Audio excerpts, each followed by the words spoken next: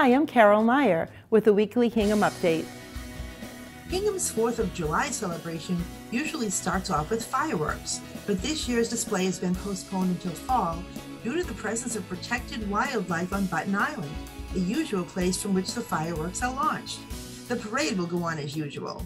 This year's theme is History Happens Here, a salute to Hingham's roots and traditions harking back more than 350 years. The 4th of July holiday will feature the early morning Hingham Rec Road Race and the Kiwanis Lions Club Pancake Breakfast on Hingham Center Common, culminating in the traditional 4th of July parade featuring marching bands, colorful floats, antique cars, Hingham's own Uncle Sam, and much more. Thousands of spectators, many decked out in red, white, and blue and waving American flags, come from near and far to line the parade route, including former residents who have moved from town who return year after year to enjoy Hingham's 4th of July celebration. Harbor Media will be providing the community with live coverage of the Hingham 4th of July parade on Harbor Media's HD channels Comcast 1072 and Verizon 2131.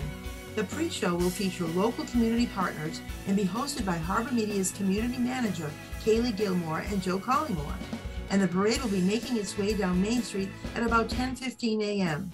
This live feed is brought to you by our community partner, AZ Studio. Make sure to visit www.harbormedia.org for updates. For further information, visit hinghamjuly4th.org. If you'd like to read the blog online, visit harbormedia.org backslash blog.